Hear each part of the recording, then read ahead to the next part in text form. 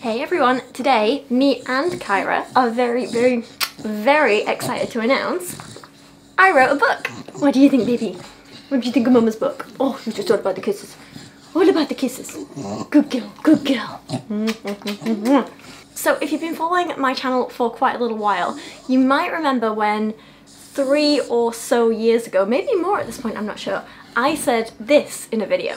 I am not a poet myself, I am just a fan of poetry. That's all there is to it. Could I write better than Almost definitely not. But ever since then, I have been working my little bum off and finding my love for writing again and I've been really really enjoying it. I've been chatting with some of my friends who are singer-songwriters and who also write their own poetry and I've been getting a lot of inspiration from them. I joined a writing group here in Leeds who have been wonderfully supportive and amazing and everyone there is so nice. And mostly I've just been writing and writing and rewriting for the last three or so years. And about a year ago now I decided that I finally felt like I was ready to maybe put together my first poetry pamphlet and that is what this is. Reflections on Healing is a little collection of 17 of my original poems plus 20 odd of my photographs and I have a little section in the back in which I go into um, some little mini essays about the photographs, what they mean to me, why I chose to pair them with certain poems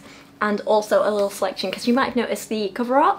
I painted this myself and so I've got a little section in the back about what that process was like, um, why I did the things I did, why I chose the colour palette that I did, some of the initial sketches that went into it, and a little bit of fun about that. Now I am very very aware this is my first short collection. It is a pamphlet rather than a full collection, so it's not overly long and I'm still at the point I think where I'm finding my voice, I'm figuring out the things I want to say and how I want to say them, but a hell of a lot of work has gone into this and a hell of a lot of emotion and it feels like a very nice personal accomplishment and mostly I wrote this for me but also I hope that by talking about the topics that I do talk about in this because there is a lot of difficult stuff. I do talk about issues like abusive relationships and domestic violence.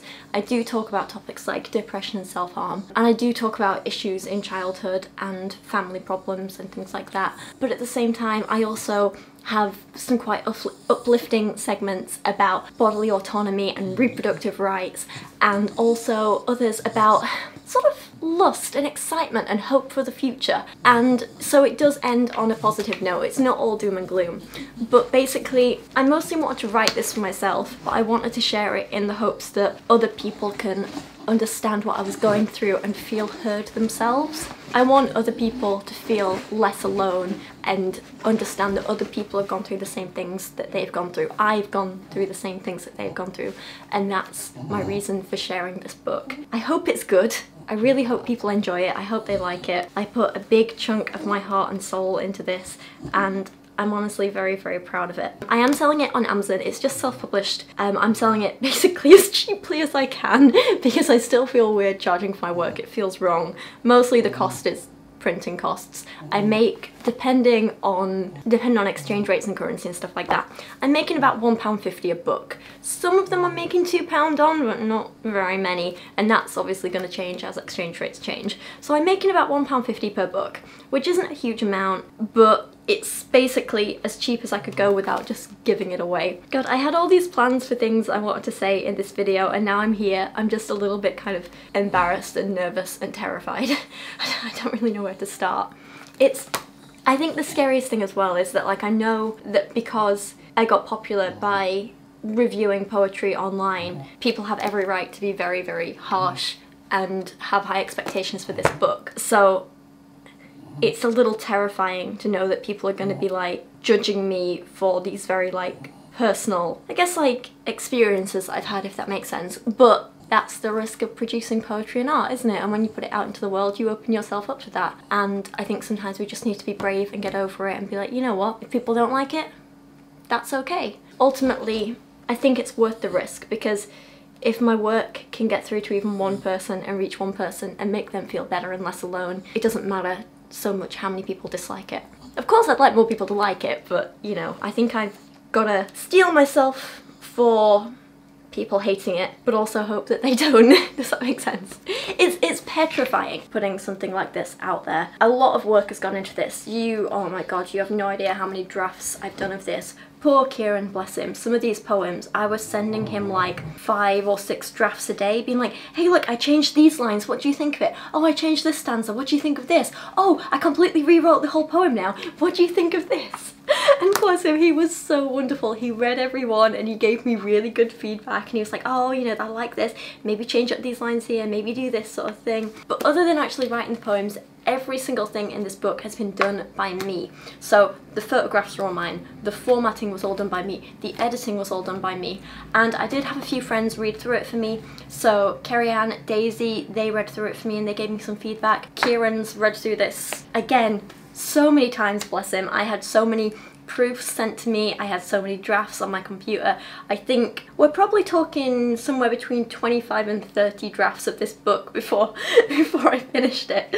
And he's seen nearly every single one. He has been an absolute amazing help. So they, they helped me pick out little things like typos and grammatical errors and stuff like that. So hopefully this book will be free of them, but if not, I'm really sorry, human error. You may have already seen me perform a couple of the poems in this book, so if you bought the uh, copy of Poetry Cove magazine that I did an interview for, there was a short selection of a couple of my poems in there. A few of those have been put in here. If you've seen my poetry videos on YouTube for Womb, Misery Symphony and Heroes, they're also in this book in text format. And if you saw me perform Womb at Glastonbury, that's also in here as well. But there's also a lot of new poems that haven't been seen by anyone before and that I'm absolutely petrified but very excited to share. Some of them, like repeating cycles, play around with really unique formats. And so instead of really like pushing flowery language too much, I try to be quite creative with the format. I've tried to look at the average sentence structure in English, pick it apart and think, well, okay, how can we split this into segments? How can we dissect it? And how does changing certain elements change the meaning completely? And then kind of relating that to my real life. So you have this one poem that I think can be read something like 25 different ways, depending on, you know, which direction you go in. It's almost like a choose your own adventure poem, if that makes any sense. Um, and the idea is that like these minor changes make di big differences to the meaning of the poem, and that's kind of how things work in real life, especially in relation to relationships, which is what that poem's about. You want some attention, don't you, Pumpkin? I'm sorry, I've got a crying girl here. Begging for some tummy rubs. Yes, oh, that's what you want, isn't it? You have other poems like my latest one, Puppet Master, which was actually inspired by a lot of you guys leaving comments on my Harrow Fair video, um, and that's got a slightly more traditional format. It's all written in rhyming couplets and this is the longest poem in the book. It's a pretty chunky one. Uh, to perform this takes about seven and a half minutes so it's a big big boy poem. It's a narrative poem because I'm a big fan of narrative poems and like I say it's all written in rhyming couplets because it's meant to mimic um, like a fun, fun, fun, a funfair, that's the word I'm looking for. Like a fun fair barker trying to like drum up attention from the crowd and it's meant to have this really light-hearted jovial tone that juxtaposes quite a dark and terrifying subject matter. So that's what I've tried to do with that. And there's a whole bunch of stuff in here. And like I say, all of them have photos that go along with them.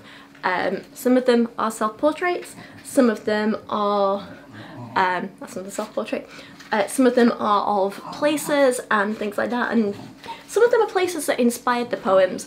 Some of them are um, just photographs that go well with the theme of the poem.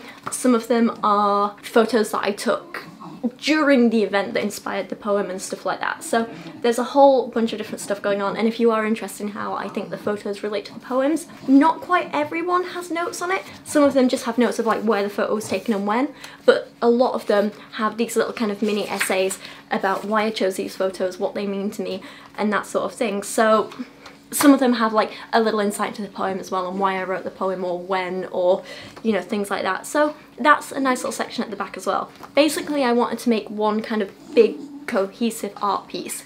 Pamphlets are really really nice because they're short they're a nice introduction to a poet. For your first pamphlet it is kind of about finding your voice and figuring things out but I wanted to make mine a little more than just like a couple of poems on paper, I did still want to make it a big cohesive art piece, which is why I've included poetry, photography, some mini essays and my paintings in here. So it's a big mix, it's very, very me.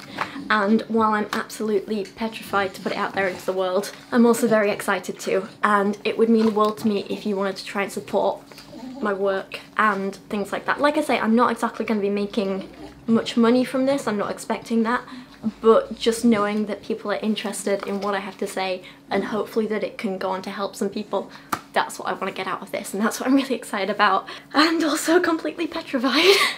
Isn't that right Kyra? Yes. Good girl. So if you would like to get your own copy it is available to buy on Amazon. It's just available in paperback at the minute. I did look into the possibility of making an ebook but I think with the photographs it kind of lost some of its charm. And I don't know it didn't feel quite as cohesive as an ebook so that's why I didn't want to release it like that. I think the formatting is quite important in this book and I did take that into account. That said, if there's a lot of demand for an ebook, I can try and put that out there on Kindle if it's something people will be interested in. But for now, I kind of want it to just be out in the world sort of as it's intended to be read, which is this big, bright, bold, cohesive art piece, if that makes sense. So yeah, it is available on Kindle. I'll put some links down in the video description and as a pinned comment on this video to the UK Amazon store, US and Canada, because I know that's where I have the biggest audience, so they're the biggest ones.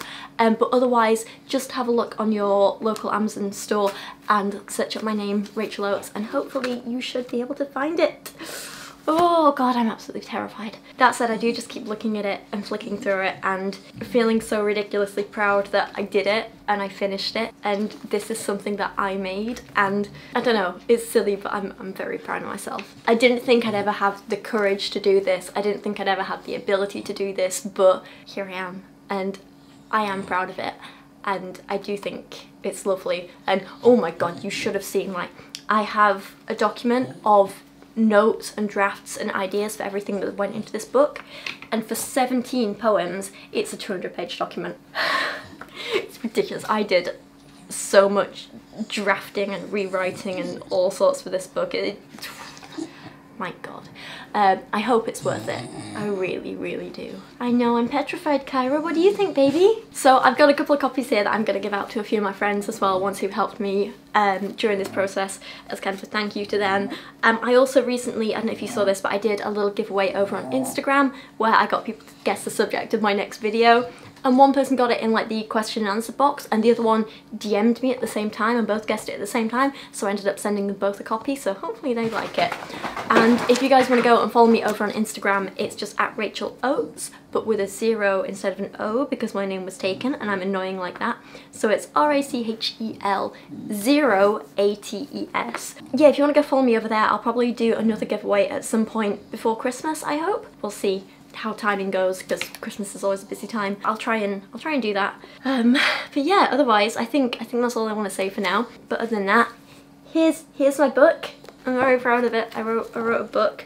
Um, and if you do get yourself a copy, I really, really hope you enjoy it. Some of you have noticed that I haven't been making as many poetry videos recently, and that's because my life outside of making videos has just been engulfed in poetry. I've been working so hard on this, I've been performing at a few open mic nights, I performed at Glastonbury this year, which is very exciting, and I've also been writing a non-fiction book, which at the minute just has a working title of like how to read a poem, um, that might change, which is basically a absolute beginner's guide to poetry what it is, how to read it, how to understand it, how to interpret it, and that's still very much a work in progress at the minute, so that's being worked on in the background. But for now, this project's done, finished, I'm very, very proud of it, and um, the next step is going to be finish my non-fiction book and then start on my next collection. oh god, I feel, I feel like a child at Christmas, but I made it. oh, very excited. Okay, I'm gonna stop gushing now. Thank you so much for watching this. I really uh, hope if you get a copy of the book, I really, really hope you enjoy it.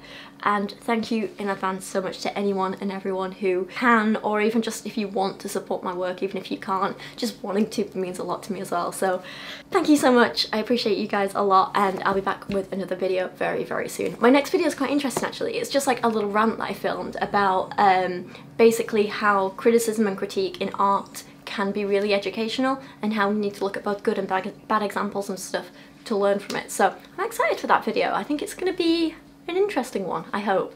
Anyway, I'm done for now. Thank you for watching. I'll see you again soon and I hope you all have an absolutely wonderful rest of your day. and um, buy my book please, if you want. No, no pressure.